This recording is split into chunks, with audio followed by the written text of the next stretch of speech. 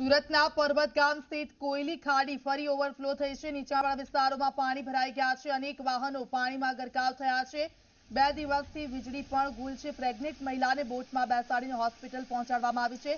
હોસ્પિટલના ગ્રાઉન્ડ ફ્લોરમાં પણ કમર સુધીના પાણી ભરાઈ ગયા છે. ફાયર કર્મચારીએ મહિલાને હાથ પકડી બેસાડી હોસ્પિટલ સુધી પહોંચાડી છે. તો આ બંને દ્રશ્યો આપ જોઈ શકો છો, નીચાણવાળા વિસ્તારમાં જે સોસાયટી આવેલી છે અને રોડ રસ્તાના આ દ્રશ્યો સુરતના છે. જે ખાડી છે ઓવરફ્લો થઈ છે ને, સુરતમાં આવી સાત જેટલી ખાડીઓ આવેલી છે ને, તેના આસપાસના જે વિસ્તારો છે, તે લોકોને દર વખતે જે ચોમાસાની સિઝન આવે છે ને, ભારે વરસાદ આવે છે, ત્યારે આ જ પ્રકારની તકલીફનો સામનો તે લોકો કરે છે. ત્યારે આ સીધા દ્રશ્યો છે. સુરતના અને લગભગ પાણી જ પાણી તમામ જગ્યા પર જોવા મળી રહ્યું છે. જ્યાં રોડ રસ્તા હતા, ત્યાં પાણીનું સામ્રાજ્ય હાલ સુરતમાં વરસાદી માહોલને કારણે જોવા મળી રહ્યું છે.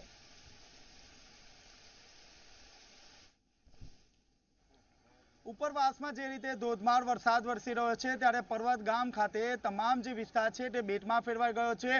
હાલ લોકોનું જે જનજીવન છે તે અસ્તવ્યસ્ત બની ગયું છે. ફાયર વિભાગ દ્વારા તમામ પ્રકારની કામગીરી કરવામાં આવી રહી છે. હું આપને દ્રશ્ય બતાવવા માંગીશ, જે પ્રસૂતા જે મહિલા છે તેમને હાલ હોસ્પિટલ ખાતે ખસેડવાની કામગીરી હાથ ધરવામાં આવી રહી છે.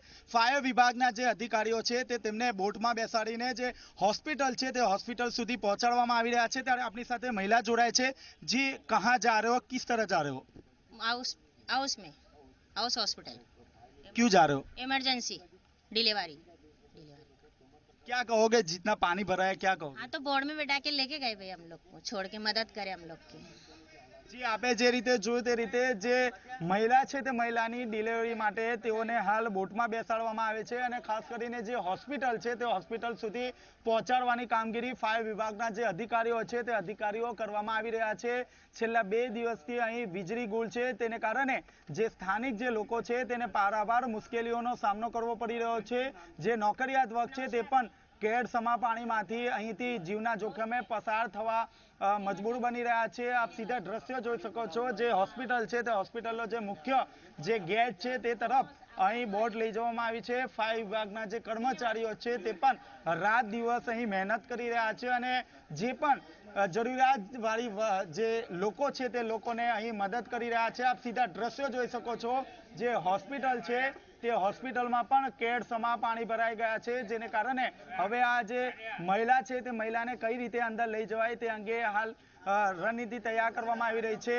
સીધા અહીં કમર સુધીના અહીં પાણી ભરાઈ ગયા છે. તે પાણીમાંથી આ જે મહિલા છે, તે મહિલાને અહીંથી લઈ જવામાં આવશે. જે બોટ છે, તે બોટ સીધી દાદર સુધી લઈ જવામાં આવશે. જો કે હાલ કઈ રીતે આ મહિલાને અંદર લઈ જવામાં આવે તે અંગે ચર્ચા વિચારણા કરવામાં આવી રહી છે. હાલ જે ફાયર વિભાગના જે કર્મચારીઓ છે તે કર્મચારીઓ રણનીતિ પણ તૈયાર કરવામાં આવી રહી છે. આ મહિલા જે છે તેને ઇમરજન્સીમાં ડિલિવરી છે, જેને કારણે આ તમામ જે લોકો છે તે લોકોને અહીં લાવવામાં આવ્યા છે. સમગ્ર જે વિસ્તાર છે તે બેટમાં ફેરવાઈ ગયો છે. જે ફ્રીજ સહિતના જે ઇલેક્ટ્રોનિક જે ઉપકરણ છે તે ભારે વરસાદના કારણે નુકસાની થવા પામી છે. ચાલીસથી પચાસ હજારનું નુકસાન સહન કરવાનો વારો આવ્યો છે. આપ સીધા દ્રશ્યો જોઈ શકો છો. જે ફાયર વિભાગના જે કર્મચારી છે તે આ મહિલાને બે હાથમાં લઈ જે હોસ્પિટલનો જે મુખ્ય માર્ગ છે ત્યાં પહોંચાડવા જઈ રહ્યા છે. જે મહિલા છે તેને ઇમરજન્સી ડિલિવરી છે, જેને કારણે જે મહિલા પોતાના માતા સાથે આવી હતી અને ફાયર વિભાગ દ્વારા આ જે બંને મહિલા છે તેને બોટમાં બેસાડવામાં આવી હતી અને ત્યારબાદ તેને સીધા જે મુખ્ય જે માર્ગ છે ત્યાં લઈ જવામાં આવી રહી છે. કારણ કે જે હોસ્પિટલનો જે નીચેનો જે ગ્રાઉન્ડ ફ્લોર છે, તેમાં પણ કેડસમાં પાણી ભરાઈ ગયા છે. જેને કારણે જે મહિલા અને તેની જે પુત્રી હતી તેને ભારે હાલાકીનો સામનો કરવો પડ્યો હતો. જો કે હાલ ફાયર વિભાગ દ્વારા એક સારી કામગીરી કરવામાં આવી છે. જે પ્રસવ, જે મહિલા છે, પ્રેગ્નેન્ટ મહિલા છે, તેને હોસ્પિટલ સુધી પહોંચાડવામાં આવી છે.